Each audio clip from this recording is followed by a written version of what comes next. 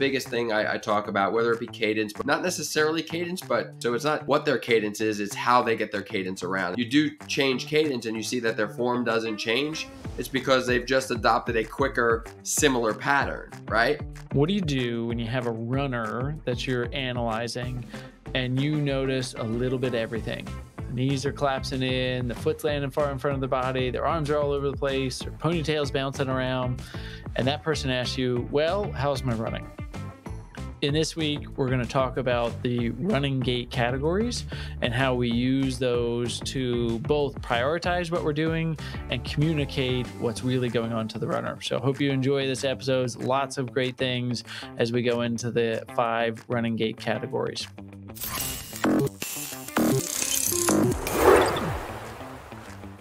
Hey, everybody. Doug Adams here with Scott Greenberg from Run DNA Podcast.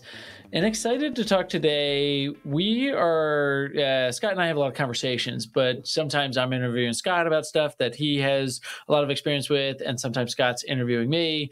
And this is something we both have a lot of experience with, uh, but Scott is going to interview me a bit. So I'll be uh, in the hot seat a little bit about the gait categories these gait categories are something that's essential to what we do at Run DNA. And I think something that we really want to get the message out because this is something we want gait analysis to be a crucial part of the rehab process and the sports performance process.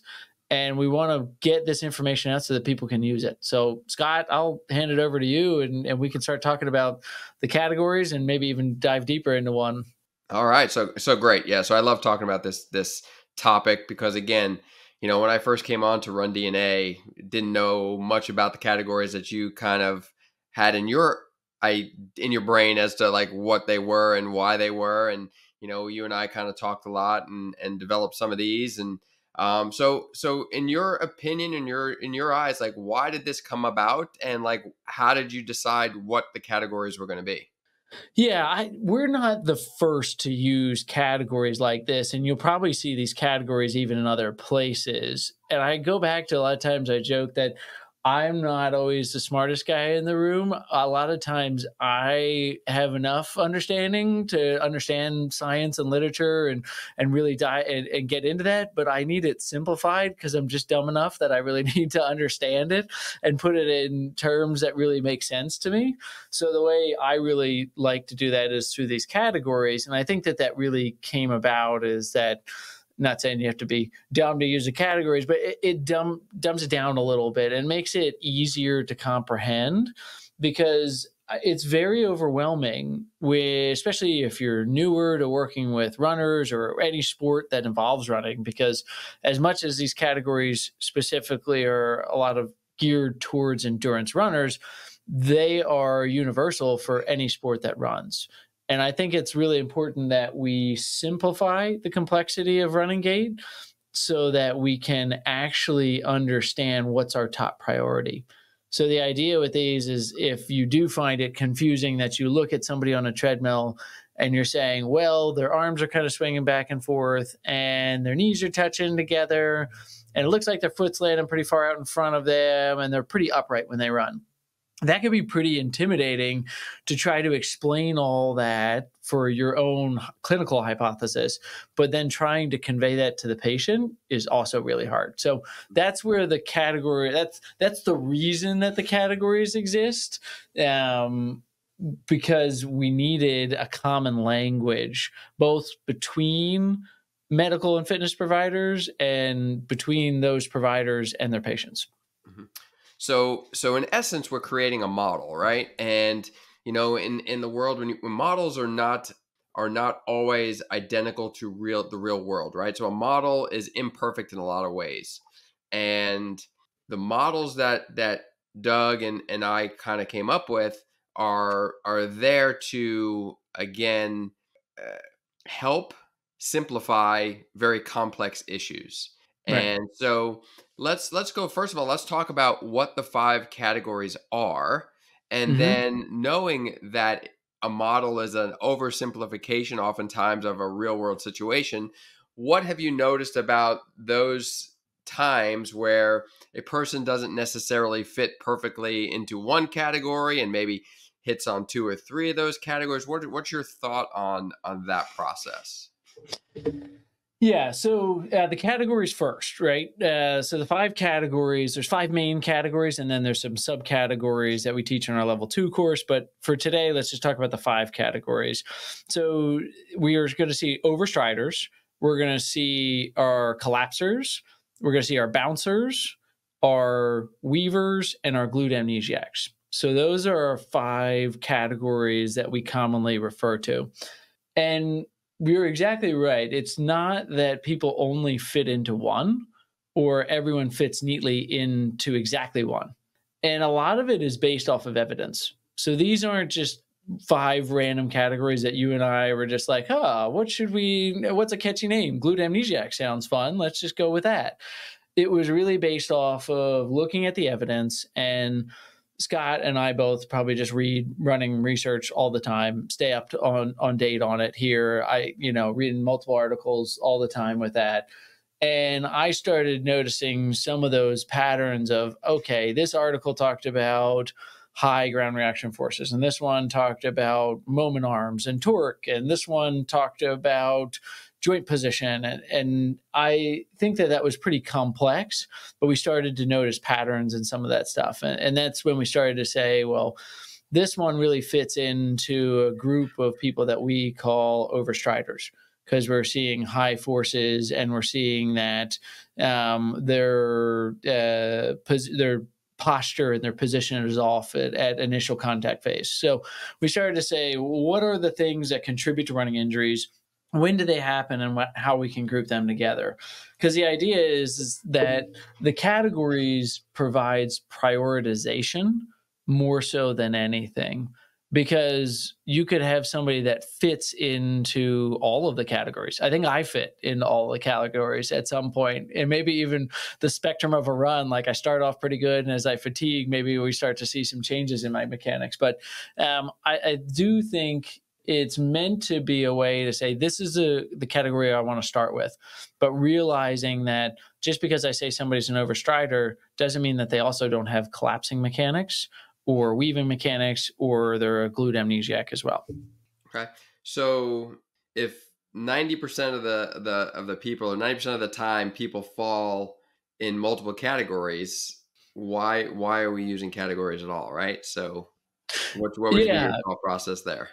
Yeah, because it it is interesting, and um, I think it goes back to what we were saying. We can dive in a little bit more about clinical hypothesis for the clinician side. Is really trying to relate what we're seeing with their specific movement pattern and how that contributes to the specific pain or pathology that we're really treating this person for. Mm-hmm.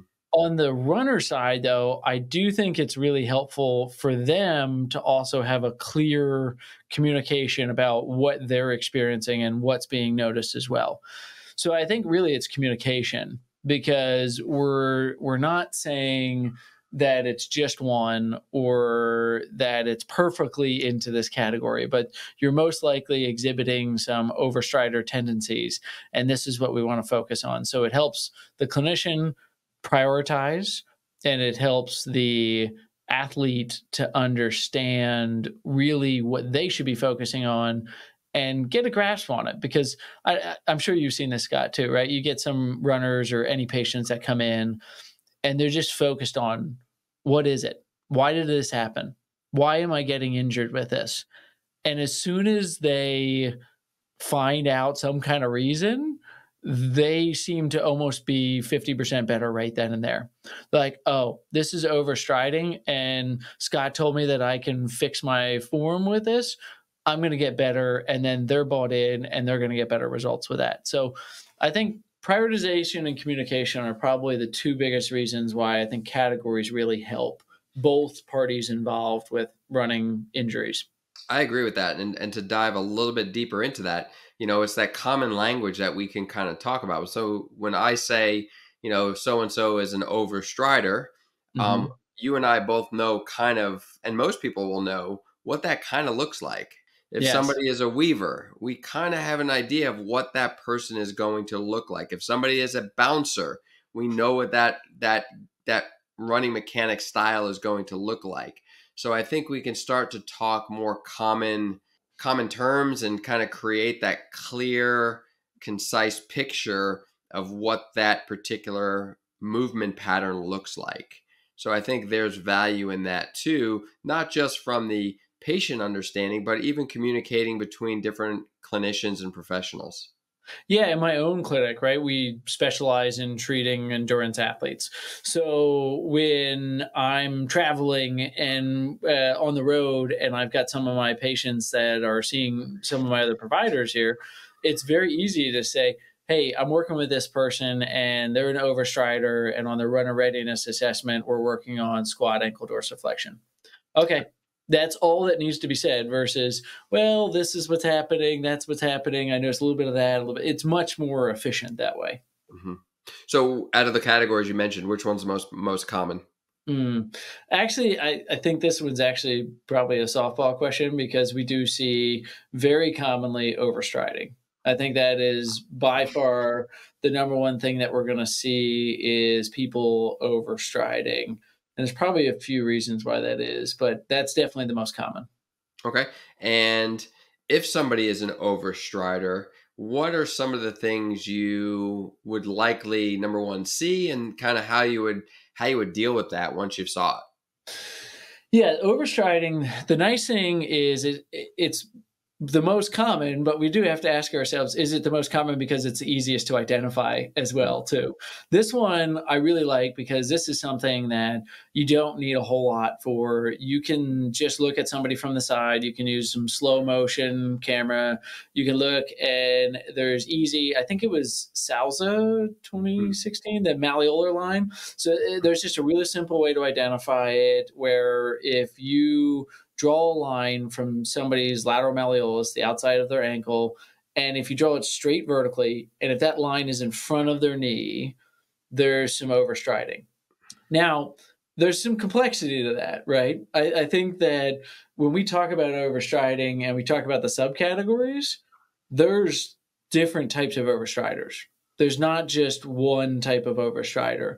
There's people that overstride for different reasons. And that's what we go into a lot in our level two course but there's other factors that contribute to why people land in that position because somebody could still have that malleolar line, but maybe they're landing pretty close underneath of their body. And it's just a position of how they're landing. It's their mechanics of their hip and their knee and their ankle, how those are interacting there. So it is, and when we were designing these, it was a little hard to draw a line in the sand and say, hey, if you do this, you're an overstrider. Now, I think the nice thing about overstrider is you can be simplistic about it and you can say, all right, here is an overstrider. I drew that line, the foot's in front of the knee, you're overstriding. Mm-hmm. But then you can go on the other end of the spectrum now and you can start to say, okay, here is the position of the knee, here is the position of the shin, here's the position of the foot, here's a strike from center of mass here is the hip separation angle. Here are other things that we are seeing that we're identifying. And a lot of that we measure in 3D, but some of that can be measured in 2D as well because of the sagittal plane nature of it. And we can start to see exactly what we're we're identifying and we can get a lot more detailed about this overstrider where it's not just your foot's landing in front of your body. Mm-hmm. It's why is your foot landing in front of your body? Mm-hmm. So I'm going to lead the next question. I know the answer because we talk about this all the time, but yeah. just so our listeners can hear. So somebody has multiple categories, right? And mm-hmm. they don't they don't fit into that perfect box. What what how do you decide what category to address first and why? So I think there, again, there's kind of a simple and a complex answer to that question. The the simple answer to that question is we have come up with uh, some hierarchical ways of looking at it, um, and I think we teach a nice a simplified way of doing it. But the the why behind the categories and the order that they're in is really starting to match up what we think is contributing to this particular injury. Is it a high force type injury or is it a forces are in the wrong place type injury? I think that's maybe an oversimplification, but I think it's a nice way to think about it is are the forces really high and our body can't absorb them or are the forces in a direction or on a structure that's not really designed for handling forces in the way that we're putting them on our body. Mm-hmm. So I think that we tend to see that overstriding is the one that we're going to address first because that is the one that has its characteristic of high forces. Mm-hmm. And it is one of those that we see because of, you know, a little uh, nerd alert here, but because of the distance that our foot is landing in front of us, it is increasing the torque that is occurring on the body. And that is putting a lot of stress on the body. And therefore, we might see that if you're overstriding, you could be collapsing too. And you could be a bit of a glute amnesiac or you could be weaving because your body is trying to find some way to accommodate for those high forces. So that's one i'm going to go to a lot of times first. And and when i do my 2d analysis you know along the same lines i tend to predominantly most do most of my assessment looking at sagittal plane mechanics mm-hmm. things such as you know contact relative to center of mass foot inclination angle, tibial inclination angle, knee flexion at initial contact, hip separation angle, trunk lean. All those things are sagittal plane kind of mechanics that I view from the side. And yeah. I personally believe, as I think you do as well, that by addressing a lot of those type of issues via using, you know, uh, low hanging fruit approaches, such as cadence being a very easy one, a lot of the other things that we typically tend to see that you would normally appreciate from either looking at the athlete running from behind or from in front um, oftentimes take care of themselves you know for example just to speak to what you were talking about if somebody is on the ground for a prolonged period of time that may be related to overstriding mm-hmm. um, and mm-hmm. as a result of being on the ground for a long period of time the way our body deals with absorption of stress is by pronating. The way we pronate isn't just a foot and ankle issue it's a lower leg and even you know body issue when you really think about it. So pronation tibial internal rotation knee goes into that dynamic valgus femur goes into internal rotation hip hip you know obviously becomes a drops and and you get this this whole pattern that that kind of takes place. And i feel that if you can limit the amount of time the person is in contact with the ground again observed in the sagittal plane yeah. A lot of the frontal plane mechanics, such as, well, we'll call it a frontal plane mechanics, but it's really more of a transverse, but we'll call it, you know, frontal plane mechanics, such as, you know, pronation or knee valgus, what have you, oftentimes dissipates as you decrease that stance time. So again, you find patterns that tend to work for you that oftentimes lead you down the correct path to deal with other other things but there are certain things that are number one very easily addressed that will oftentimes facilitate kind of taking back that onion peel and kind of getting to the core of the problem. Yeah, and that's you know our goal at Run DNA is really getting everyone doing gait analysis. And one of the facts that I really like about gait retraining is that it only takes 10% of a reduction in stress to let you run twice as far before your body breaks down. That's really easy to do. And in somebody like an overstrider, that's very obtainable. So exactly what you're you're talking about, and you brought up cadence, right? Because that is one of the strategies that a lot of people will use. And what I found in doing cadence, because do, using the 3D, we're able to see how cadence really impacts people's form. And what we've seen is that it often helps people to reduce how far they're landing out in front of their body but it doesn't very often actually change their mechanics of what they look like when they get there. So it's still a beneficial act- uh, activity to do with them. You can still use cadence and it can be really helpful because you are having somebody land closer to their center of mass. So the moment arm isn't as far and the forces aren't going to be high, which is great. But what we found is that about 20% of the time, they'll change their form positively, but the other 80% of the time, their form is still what it is. I'm going to dive into that for a second. When you say when you yeah. their form, so if they're landing yeah. closer to the center of mass, I'll push back a little bit just because you know we have to have a little a little debate. If they're oh, landing yeah. closer to their center of mass, their form has changed. elements of it, but not everything. And this is where not everything, having, but but their form everything. has changed. There's been a change in their form. Right, but everyone can have a different uh, strategy of how to get there. And what we're seeing is that about one in five times people adopt a preferred strategy to get there. Mm-hmm. Four to five times it's not necessarily a preferred strategy.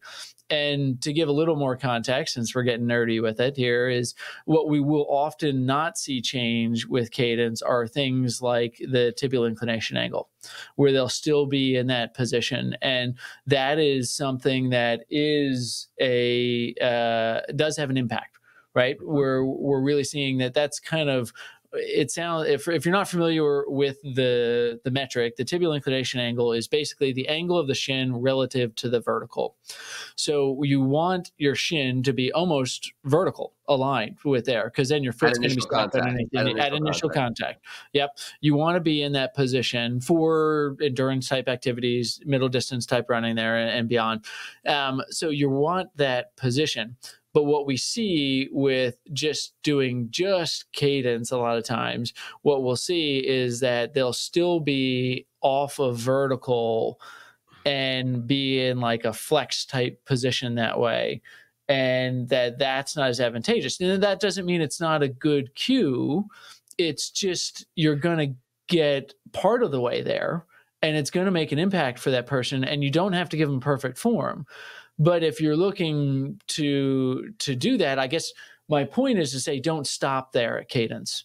You know, there are other things that you can do that we can stage some of these responses. And if somebody's subjectively saying that the cadence makes a difference, that's a great place to start if somebody's saying that they don't really feel much of a difference and it just feels harder with cadence, it's probably because they didn't change the biomechanics and they probably didn't land close enough underneath of their body and it just feels hard for them. So you have to try a different cue with that person. Okay. So now we're going to get into some really uh, practical applications of these categories. But have you noticed that certain categories lead to certain injuries? And this is like a loaded question. But have you have you found that overstriders tend to have stress fractures in their femur? Do they have anterior knee pain? Do they have foot issues? Like what have you noticed with your categories and category categorization leading to pathology or pathology leading to certain category categorization? Right.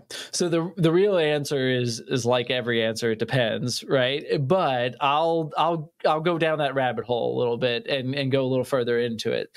What I think we can see with the categories is if you understand what the category does to the mm. body, you can relate it to the type of injuries that we'll see. Some categories are easier than other to relate to specific injuries. An injury uh, like a category like overstriding is kind of hard to relate it to a specific injury but we can do the reverse math on it pretty well. So what that means is let's say that somebody comes in with anterior knee pain and we know that we see that they're overstriding. What we're able to do is to explain to that athlete that's in front of us what we're seeing is that you're landing far in front of your body, which increases the forces. And we notice that you're landing in a pretty extended knee posture. So, this is going to reduce your use of your dynamic stabilizers, your muscles, and it's going to put more stress on the joint that the passive structures that we see and that can contribute to why you're having some more anterior knee pain symptoms so i can go backwards and tell them maybe why that is. But if I took an overstrider, I couldn't quite say this person's going to have anterior knee pain, this person's going to have hip pain, that person's going to develop shin pain. Now, we could start to look at some other factors like the runner readiness assessment, and we could start to look at other things that are contributing factors. But what the reality is, is that the categories tell us if it's going to be high stress or stresses that are placed in incorrect areas. Mm-hmm. And then it's our job to figure out why there was a weak link. And that weak link is often the thing that gives way first. So there's some other factor, and I, this is a good point, Scott. Right? Gait categories aren't the only thing that matters with a runner. We need to understand more about a runner just in their gait category but i i think the benefit of having those is that we get that gait piece because i think a lot of medical and fitness professionals are not looking at that aspect of it and they rely too heavily on mobility or motor control as like well you just had quad weakness and that's why you had anterior knee pain it's like no you have quad weakness and this is your landing mechanics at initial contact, you're an overstrider. It comes down to, you know, I'm going to get on that soapbox again, but it comes down to, again, stress versus capacity, right? Yes, right. if your quad was stronger, maybe it would deal with the, your, it would maybe mitigate the stresses that you're putting on it due to your poor landing mm-hmm. mechanics potentially better. But because you're landing a certain way and your quad is a certain way, you're maybe more likely to have X, Y, and D type of problem. So, so I think it's like you said, it's multifactorial, no doubt. For me, what it's it's almost like that asterisk sign. It's like we we get the opportunity to play detective here, right? So mm-hmm. we think we classify somebody as a as an overstrider, let's say, and we and we say we think that we can move loads away from a given point. Let's just say hypothetically, it's the knee. So we yep. feel that because this person is an overstrider, that if, that I can redirect some of the load and force that's being excessively distributed in this person's case to their knee that can't handle it by manipulating that overstriding to try to get them to land closer because I feel personally that their overstriding mechanics are putting their knee in a position to absorb more more load at the present time than they're capable of that's probably the way that I would I would probably spin it is that yeah. again it's it's it's a way in which we can identify something we feel is contributing negatively to putting tissue under excessive load and if we feel and we know in the research based on certain things that certain cat, uh, uh, qualities of movement move that stress from one region to another or offload one region more than mm-hmm. another, then that's a strategy that I'd like to take 99.999 times out of 100, right? So, right. Um, you know, again, it's low hanging fruit, but it's using information you have at your disposal to try to get that runner on a path where their body is capable of dealing with the loads that they're putting through it based on their activity. Yeah. Every decision has consequences. So, what we're doing is we're making a clinical hypothesis and then we're making a decision about what we want to do. And then we have to consider when we do that, what are the consequences? So, when we take that overstrider and increase their cadence, and we know that we're putting more stress potentially on the posterior structures, well, what if that person has very limited capacity in the posterior chain? Then that might not be an effective strategy to take with that person. And, and maybe, maybe, that person needs quad strength more, you know? And maybe that person uh, identify uh, or developed that overstriding mechanic to yeah. compensate for the weakness in the posterior structures potentially. Right. So that's why you have to realize that these are hypotheses and that you need to keep testing. And, and that's think, one of my problems, just not to interrupt, yeah. but that, along the same lines that's one of my problems with um, people always talking about i'm not going to mess with mechanics because that's their that's their chosen way to run well yeah. they're maybe choosing to run that way because they can't run another way because it's uncomfortable or they don't have the it's yes it's their preferred because their other oppor- opportunities or, or options are are skewed due to insufficiencies they have right. so yeah my three year my four year old now he shoots a basketball underhand because that's how he can do it. There's nobody in the nba that shoots underhand because that's how they naturally learned how to shoot a basketball right, right. It, it's it's the same thing. It's like a capacity. Like what what can we do? And the other thing to remember along those same lines scott where i 100% agree with you is that we don't always get a memo when our movement changes. Our body adapts almost instantly to some of these changes and stress that our body is experiencing. And we're not all of a sudden like, oh, hey, guess what? You started landing a little bit further in front of your body because your calf got tired uh, from doing some sprints yesterday. So you're overstriding a little bit there. Uh, so if we're not getting that memo, and I think the people um, I'm going to ra- ruffle some feathers with this, but I think the people that don't want to mess with mechanics just aren't confident in their ability to be able to understand how to make adjustments. And they think that you have to get it right on the first time. And that's not the case. There's plenty of people that I give cues to, and I'm like, oh, forget I said that. That does not look better. And they're like, yeah, that did not feel good. But that eventually I find one that they feel that aha moment where they're like, wow, is this what supposed running supposed to feel like? Why did nobody show me this earlier? And mm-hmm. it's we're not always going to get an aha moment because there might be structural involvement from a mobility or motor control standpoint that somebody needs to adopt over time to this. But I, I think we really need to be willing to explore the mechanics because i always you and i do this debate at the beginning of a course with everyone that attends a course. We're like all right if you see a pitcher that's dropping their elbow and throwing a ball that way like are you going to fix it? And they're like yeah. All right you see a runner overstriding? Are you going to fix it? And people are like i don't know. Mm-hmm. And it's like, why not? Like, it's the same principle. Like, you're going to fix that because we know that every pitch could tear a UCL on a pitcher well, we know that any run could potentially exceed and, and cause the body to break down. It's um, it's in my mind the same thing there, but yeah, that is, it, it's very very similar, no doubt, no doubt.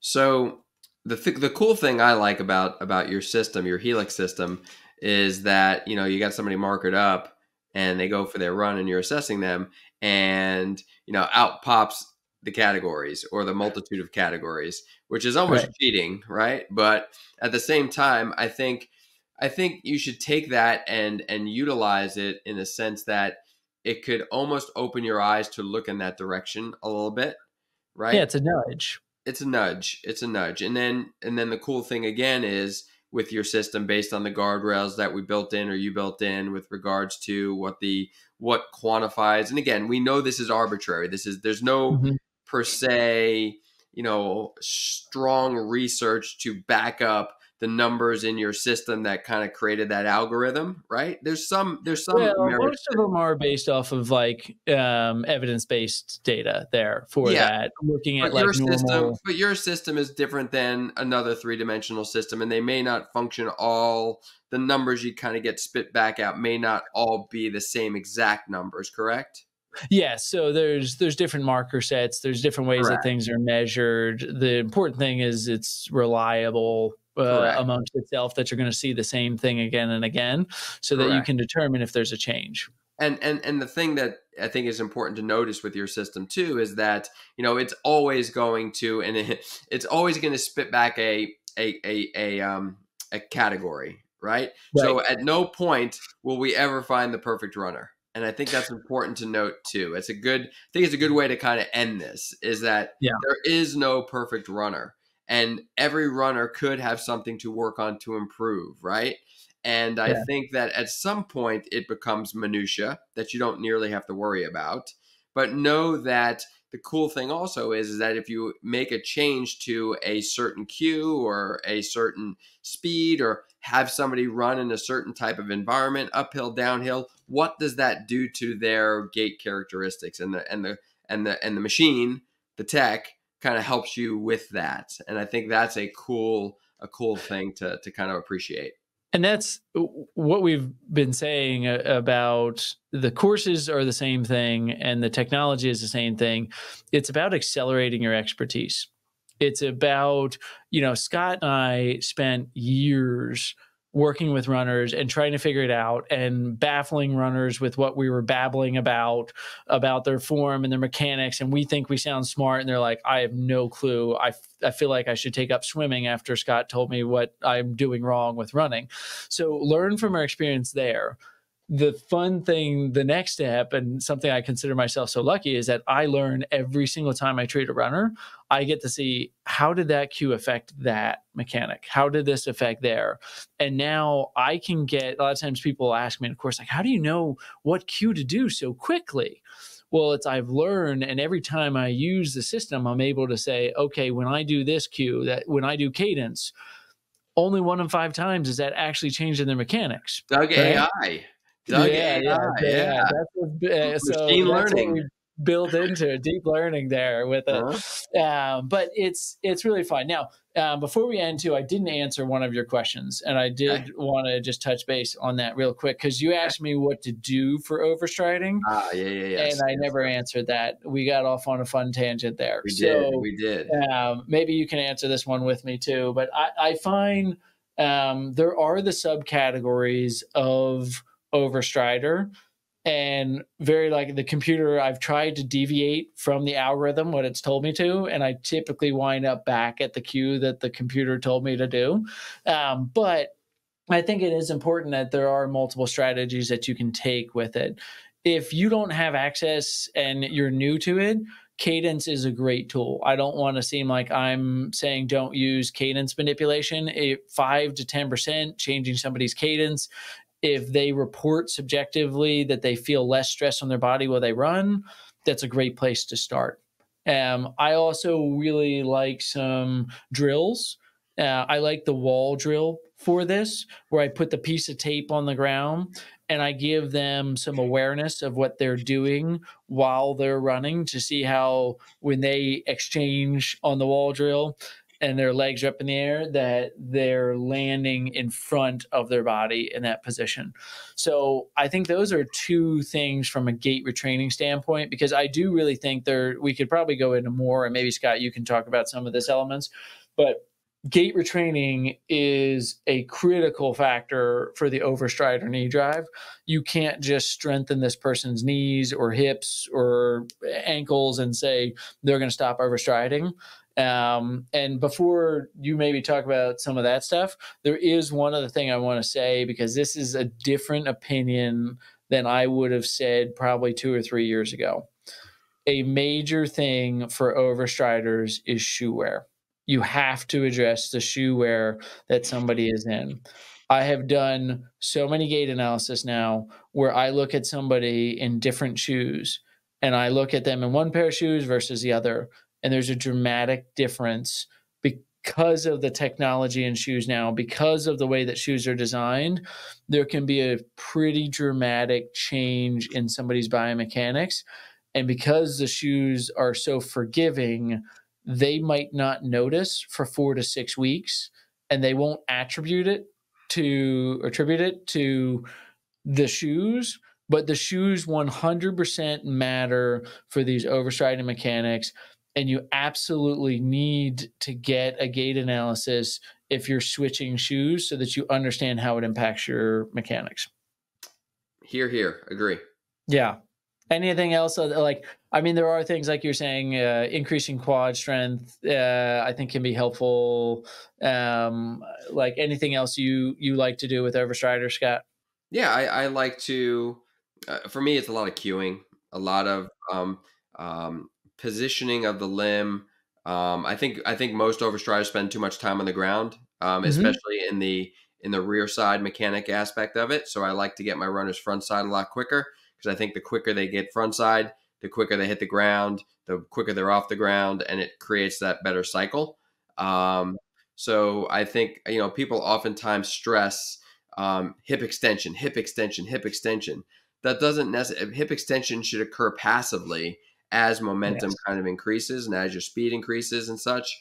Um, you shouldn't be necessarily pushing down into the ground for a long, prolonged period of time, time right. where you're extending your glutes and your and your plantar flexing. It should be a quick, a quick impulse into the ground, and then your recoil to make another quick impulse to the ground because that's where your speed comes from. So for me, um, the biggest thing I, I talk about, whether it be cadence, but more not necessarily cadence, but it's it's not how it's not what but how. So it's not what their cadence is, it's how they get their cadence around. And like to yeah. what your point was before, is that you do change cadence and you see that their form doesn't change. It's because they've just adopted a quicker, similar pattern, right? Yeah. So you've got to kind of create i like talking about creating a circle or a wheel like you're riding a bicycle kind of creating yep. more of a cyclical or elliptical kind of motion to kind of get them on and off their ground a lot quicker yeah, I brought even my kid's scooter in to teach people sometimes how to do that. You like that one, huh? The skateboard and the scooter. I remember that. Uh huh. Yeah, yeah, that was a great one. Yeah, mm-hmm. I was like that. So, Well, awesome, Scott. Thank you. This was fun. Hopefully, this uh, gives people some ideas and introduction of the categories, and probably the most common one, the overstrider. And check out some of the other podcasts. We, talk about more of these things. And if you like this information, make sure you head over to the YouTube channel. We have a lot of these drills that we were talking about are on the Run DNA YouTube channel, as well as some of the exercises. So head over there or head over to rundna.com sign up for our newsletter to make sure you're learning about uh, our courses and some of the events and things that we have going on. Thanks for listening and happy, healthy running. Bye, everyone. Like what you hear? Leave a review of the show wherever you listen, and don't forget to subscribe so you never miss an episode. Run DNA helps runners and running specialists through education and technology to identify each runner's unique injury profile to avoid setbacks and maximize results. The Run DNA podcast is produced by Ace Running LLC. The Run DNA podcast is intended for educational purposes only. No clinical decision making should be based solely on one source. While care is taken to ensure accuracy, factual errors can occur. Always seek the guidance of qualified medical professionals before making healthcare decisions. Find us online at rundna.com.